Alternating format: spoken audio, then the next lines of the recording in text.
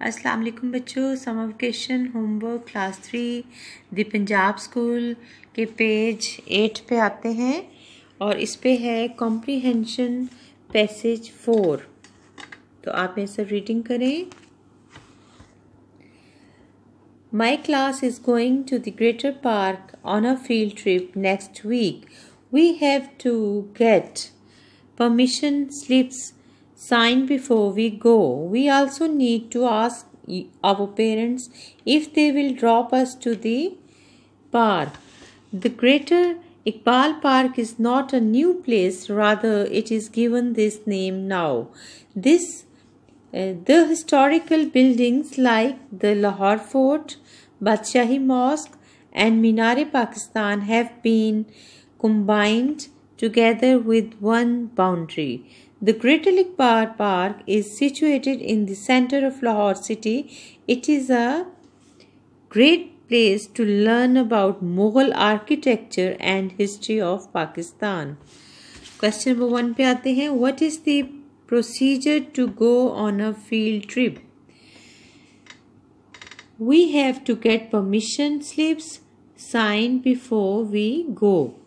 Question number two है What kind of permission do children have to take from their parents?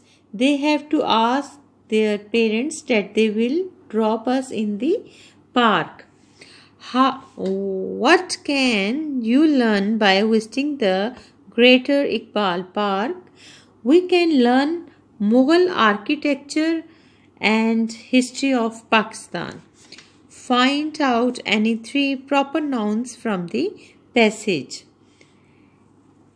proper noun इसम Marpha Pakistan Lahore fort Badshahi mosque how many articles have been use in this passage what are they they are a and the और these are use at times in this passage page nine पर start करते हैं।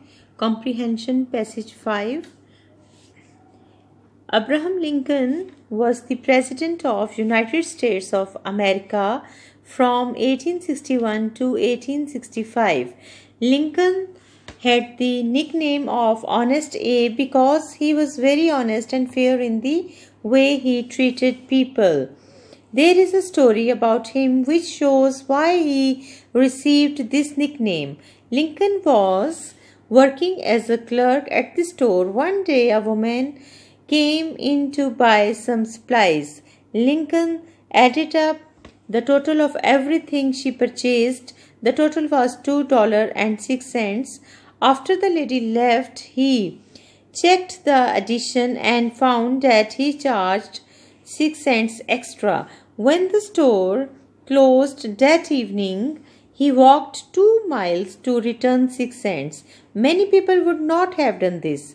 Lincoln, however, believed that honesty was the best policy and would not knowingly cheat anyone. Knowingly mean जानबूझकर cheat धोखा यानी किसी को भी जानबूझकर धोखा नहीं देना चाहिए तो इसका क्वेश्चन नंबर वन है what was the nickname of Abraham Lincoln honest Abe was the nickname of Abraham Lincoln. How much did Lincoln overcharge the lady? He charged 6 cents extra from the lady.